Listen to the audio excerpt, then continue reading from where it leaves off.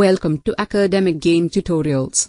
In today's class we are going to learn in details about production facilities for low quantity production, medium quantity production, and high production, along with the different floor layouts used in these particular production facilities.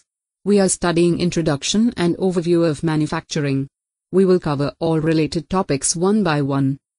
Before starting, if you haven't subscribed to this channel yet, just click on subscribe and press the bell icon. Here, we come up with new videos on different subjects to make the academic studies easier for you. So, into the topic. Production facilities consist of the factory and the production, material handling, and other equipment in the factory. The equipment comes in direct physical contact with the parts and or assemblies as they are being made. The facilities touch the product. Facilities also include the way the equipment is arranged in the factory, which is called the plant layout. The equipment is usually organized into logical groupings. In our discussion classes they will be called manufacturing systems, such as an automated production line, or a machine cell consisting of an industrial robot and two machine tools. A manufacturing company attempts to design its manufacturing systems and organize its factories to serve the particular mission of each plant in the most efficient way. Over the years, certain types of production facilities have come to be recognized as the most appropriate way to organize for a given combination of product variety and production quantity, as we have discussed in our previous classes. Different types of facilities are required for each of the three ranges of annual production quantities. Low quantity production falls in the low quantity range of 1 to 100 units per year. The term job shop is often used to describe the type of production facility. A job shop makes low quantities of specialized and customized products.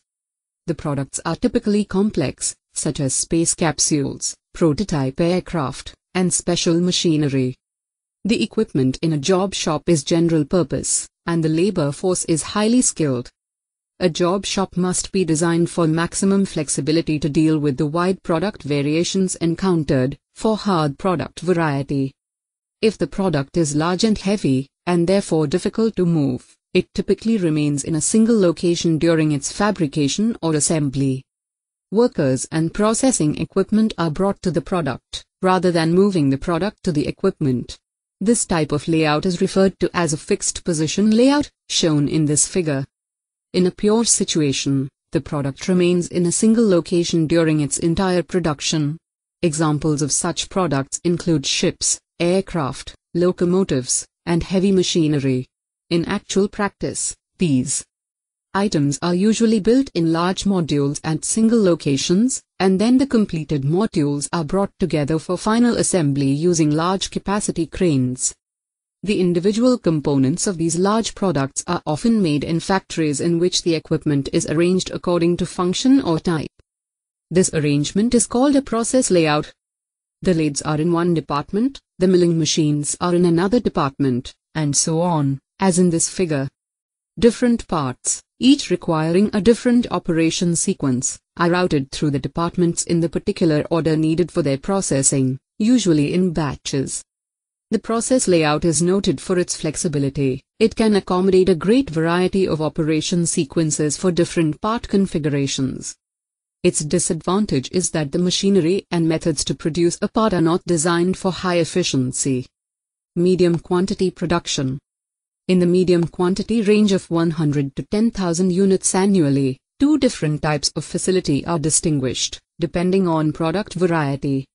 When product variety is hard, the usual approach is batch production, in which a batch of one product is made, after which the manufacturing equipment is changed over to produce a batch of the next product, and so on. The production rate of the equipment is greater than the demand rate for any single product type, and so the same equipment can be shared among multiple products. The changeover between production runs takes time, which includes time to change tooling and set up the machinery. This set-up time is lost production time, and this is a disadvantage of batch manufacturing. Batch production is commonly used for make-to-stock situations, in which items are manufactured to replenish inventory that has been gradually depleted by demand. The equipment is usually arranged in a process layout, as in this figure. An alternative approach to medium range production is possible if product variety is soft. In this case, extensive changeovers between one product style and the next may not be necessary. It is often possible to configure the manufacturing system so that groups of similar products can be made on the same equipment without significant lost time because of setup. The processing or assembly of different parts or products is accomplished in cells consisting of several workstations or machines. The term cellular manufacturing is often associated with this type of production. Each cell is designed to produce a limited variety of part configurations, that is, the cell specializes in the production of a given set of similar parts, according to the principles of group technology. The layout is called a cellular layout, depicted in this figure. High production. The high quantity range, from about 10,000 to millions of units per year, is referred to as mass production. The situation is characterized by a high demand rate for the product and the manufacturing system is dedicated to the production of that single item. Two categories of mass production can be distinguished, quantity production and flow line production. Quantity production involves the mass production of single parts on single pieces of equipment.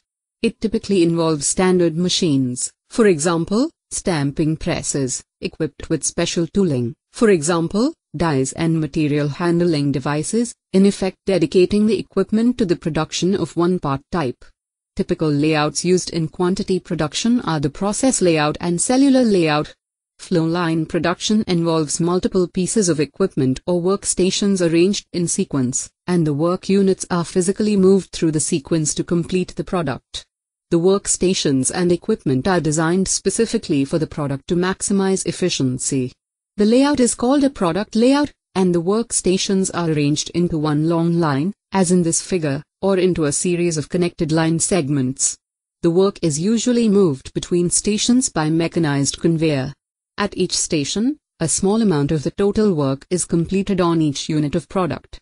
The most familiar example of flow line production is the assembly line, associated with products such as cars and household appliances. The pure case of flow line production occurs when there is no variation in the products made on the line. Every product is identical, and the line is referred to as a single model production line.